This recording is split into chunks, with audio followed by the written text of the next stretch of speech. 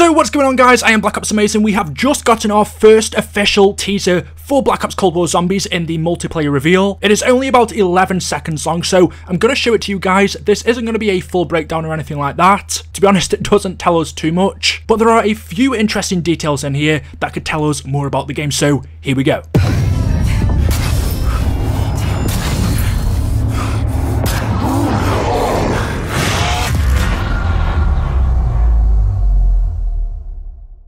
So just quickly going over some of the things that I noticed, a lot of people have been saying that this is Nacht der Untoten. If you take a look at this part specifically at the beginning, this does look similar to the stairway behind the hell door. There is just graffiti everywhere. Other people have speculated that part of this footage looks like TranZit. But what is interesting is this part here on the ground, we see the monkey bomb. Now we've been told that we are getting a new story, but the monkey bomb is associated to the Aether storyline, it was created by Richtofen. We don't see Aether in the Chaos story because it isn't a part of that. So if we're seeing the monkey bomb, either what we are seeing here is a part of the Aether story, or maybe they implemented the monkey bomb into their new story, but could Aether be returning? Is this an Aether map? Is it TranZit, Die Rise? A new map? And then right at the end, the character turns and a zombie runs towards him. If we look at the zombie, to me it looks like it has yellow glowing eyes. Also note that the map we are seeing here is absolutely pitch black. This is something we've never seen